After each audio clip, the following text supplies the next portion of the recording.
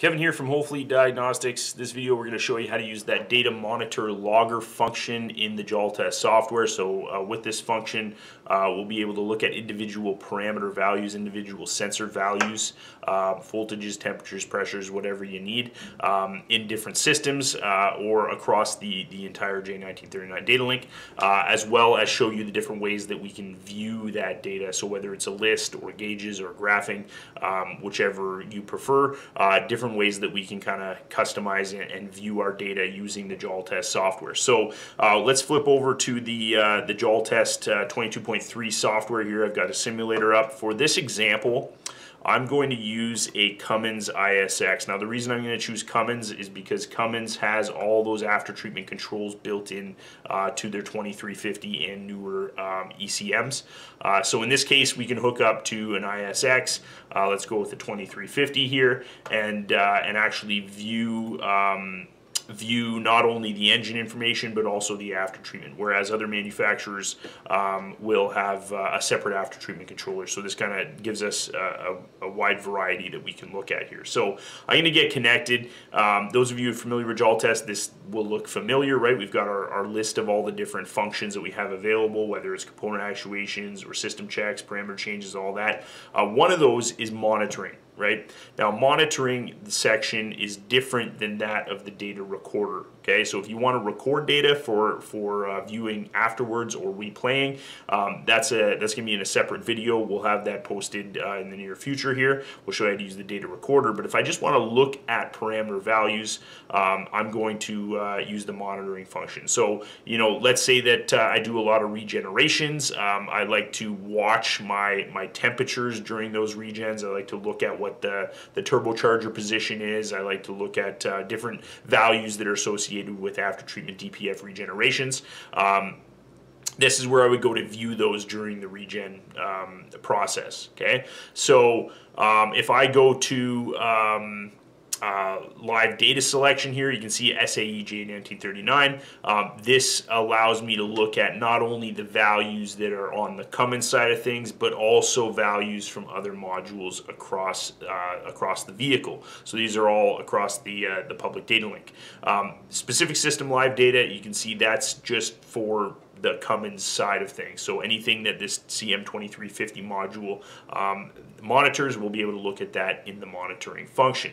Um, you can see here just below that, I've got a regen group that I created previously. So we can actually put together uh, a group of values um, that, that we like to watch. So if I do a lot of regens, um, this is this indicates that, hey, um, this is my, my regen values for the ISX. So you can see here, I've got those values just pop up. I don't have to go through and uh, individually select them um, and start from scratch here. So you can have like quick access to uh, just that that that parameter group and the, the parameters in that group uh, right here. Okay, so um, below that, and this is where I want to start, there's this really cool feature called System Display, and it, this is mainly the reason why I chose the Cummins module is because I'm going to see a list of different systems that I can view the data from.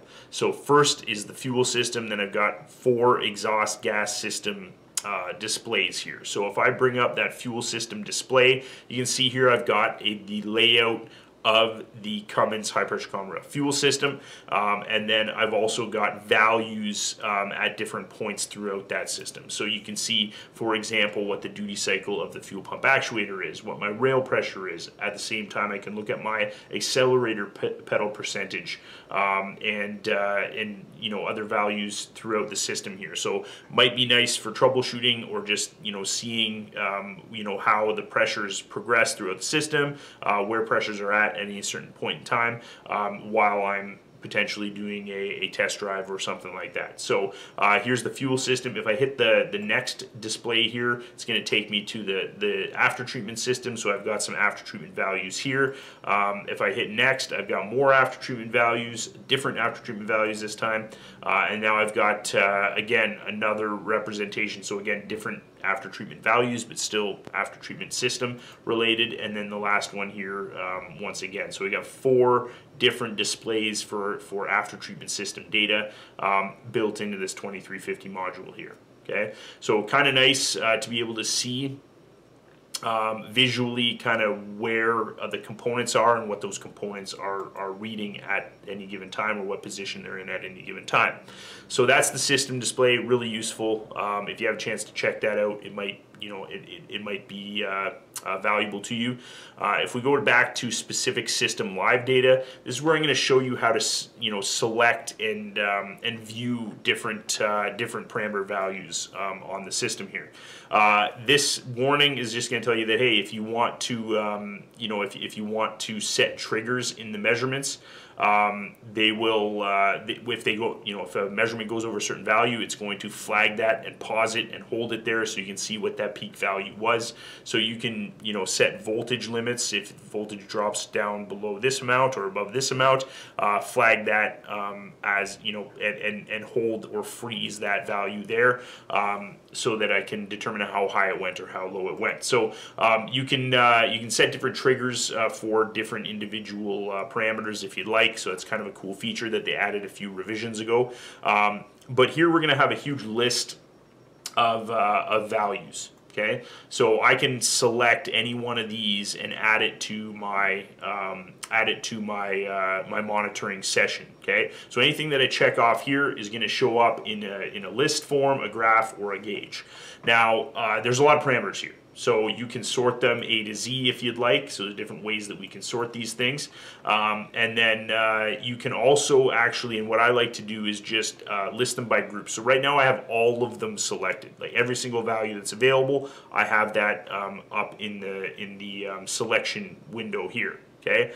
If I deselect all of these and then I go down to temperatures. This is going to load up just the temperatures into the screen here. It'll be easier to find what I'm looking for um, if I just you know filter by group. Uh, the other option here is you can actually search for different um, keywords through the list as well which might help you out also. So if I'm looking for catalyst for example I type in catalyst and as a result I get you know everything it filters out the ones that don't have that keyword in there okay. So let's go our DOC inlet temperature um, and I'll back up and then it will show me all of the original values. Then I'm going to go up to pressures here and I'm going to select um, barometric pressure and then I'm going to go down to angular velocity and I'm going to select engine speed. Okay, so all those ones that I have selected, uh, they're still selected even though I can't see them on the, the list here. Um, they are still selected and then once I've selected all the ones I want to look at, I'm going to go over to the right hand side here and I'm going to select which way I want to view the data. So whether it's a list here right? So here's the list of values. The nice thing about this is I've got this question mark icon here. Um, this is going to bring up uh, information uh, about that individual uh, component, right? So that diesel exhaust, uh, diesel oxidation catalyst intake temp sensor. Um, here I've got a whole bunch of information about that particular sensor, where it's located, what the values are, what the pinouts are, all that stuff. Um, that's all uh, listed in there. So you'll learn a little bit about that sensor, what it's supposed to read, and what the, the specs are for it. Um, if I go down to the graphing button here, I'm going to be able to see these values in a graphical form, uh, which is great for just comparing values over time, obviously. Um, and then uh, just below that I've got gauges. So I can view the data in, in the format of, of a gauge if I'd like. So you know whichever uh, is is ideal for you know the situation that you're in uh, you can view that data in three different ways okay? Now before uh, we, we finish up here uh, we can take all of those parameters I have selected and I can add them to a new group right? So that new group, I can name it whatever I'd like. The last one I made, I called it regen. Um, so basically, the Jaltest software will remember um, all those values you had selected, and it's going to hold them in this group, and that group is going to show up uh, when you go into the monitoring function for this particular module or this version of, of module uh, for this manufacturer, okay? So if I go and hook up to a different manufacturer, I'm not going to have that, uh, that value there, but um, it's a nice way to have a, uh, a quick access to different values um, or, or, groups of values that I commonly like to view. Um, so there you have it. That's the monitoring function. The three different ways that we can view that data uh, is kind of handy.